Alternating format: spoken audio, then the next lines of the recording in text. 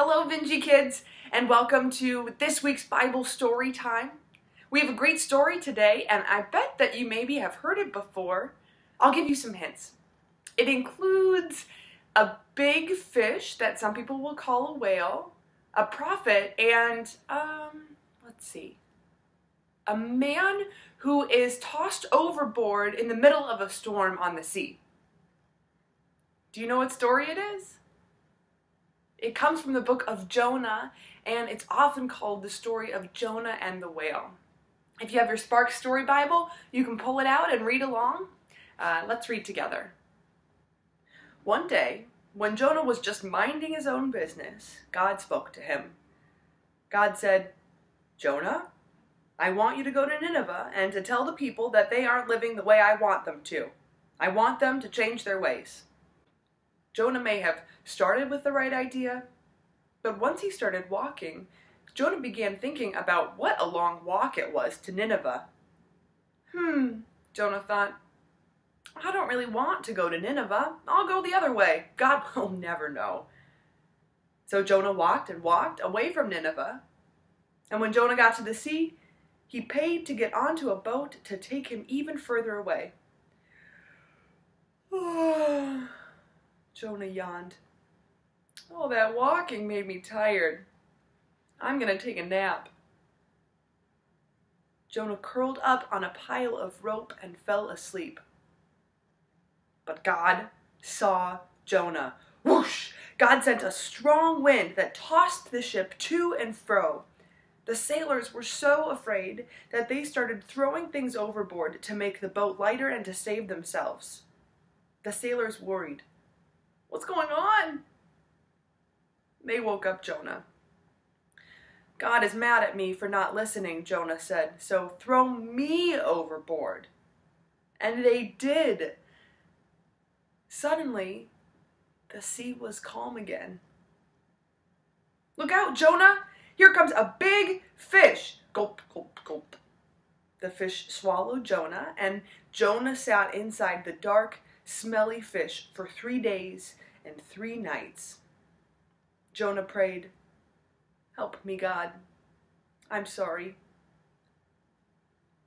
Finally, the fish spit Jonah out on the beach. Trudge, trudge, trudge. Jonah went to Nineveh. He told the people what God had said, and they believed him and changed the way they were living. God was happy that the people of Nineveh were now living as God wanted. Hmm. Well, that's where the story Bible ends, but there's actually one more chapter in the Jonah story.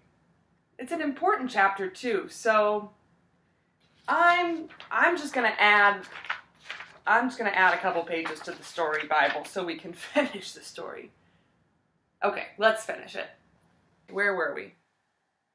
Oh, that's right. God was happy to see that the people of Nineveh were now living as God wanted.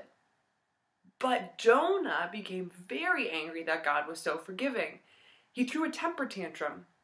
God, I knew that you were going to forgive the people of Nineveh, he said, and that's why I ran away. I would rather die than see them forgiven. Jonah stormed away. God gave Jonah a bush to rest under because it was a hot day and Jonah needed some shade. And Jonah was happy about the bush. Then God sent a worm to eat the bush, and Jonah was sad. God said to Jonah, Well, if you care so much about this bush, then why do you think that I wouldn't care about the people of Nineveh even more? The end? That's where the story ends, just with God asking Jonah a question. You know, this story reminds me of a time when I was in school and the teacher had assigned us some homework to do. And so I went home and I did the homework, and when I came to class the next day, like half the class hadn't done the assignment. And I thought, oh boy, these people are really gonna get it. And our teacher, instead of punishing them, just gave us all an extra day to do the assignment. And I was so mad. I had done the work and they had it and they were just getting let off the hook. And it didn't feel fair. and I think that might be kind of like what Jonah feels in this story. He feels like the Ninevites who have done some really mean and awful things, they're just getting let off the hook too easily. But Jonah kind of gets let off easy too. You know, God forgives him and gives him another chance when he runs away. Just like God gives the people of Nineveh a second chance. Just like God gives us a second chance. And just like God gives the people that we disagree with another chance too. God is full of second chances, I guess. And man, sometimes that is frustrating. But most of the times, that's a really good thing.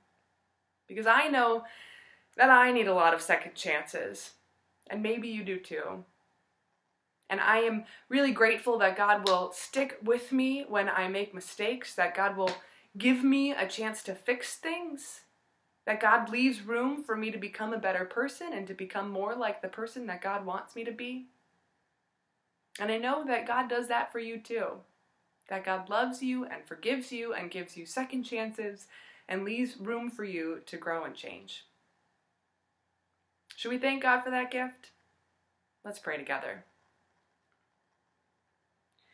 God, thank you for giving us second chances when we make mistakes. And then another chance. And then another chance. You're awesome and we love you. Amen. That's all for this week. Thanks, folks. See you next time.